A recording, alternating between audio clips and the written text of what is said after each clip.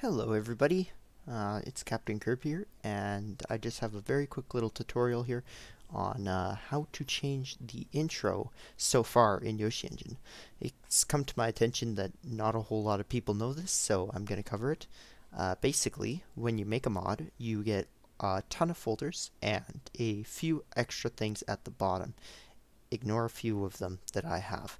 What we're going to want to worry about today is the config.json, and every one of your mods will have this, alright?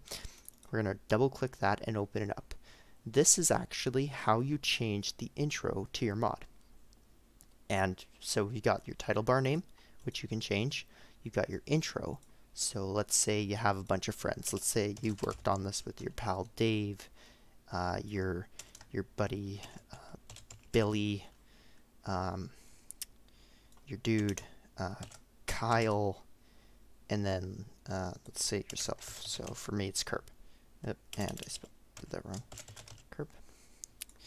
Uh, you can do Friday Night Funkin'. You can change all of this stuff. Uh, let's change it to uh, versus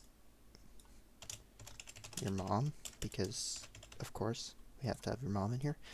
Uh, you can change the contributor, so obviously we got to change it to that. You can change in association with as well. You can change all that new stuff um, as well as present. Uh, you can change that to, let's say, something like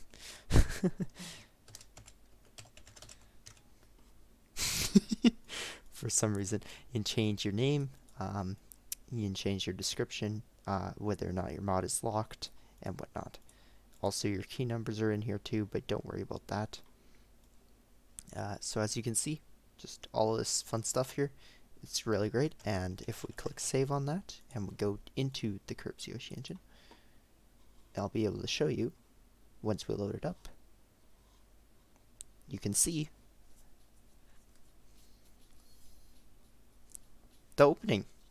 You can also change the Newgrounds image, but that's about it. So just a little quick little tutorial there to change to show you that in the config.json you can change basically the entirety of your intro and um, if until Yoshi adds more custom intro stuff uh, I'll cover that if he does um, but until then uh, or until next time I guess thank you for watching this short tutorial and see ya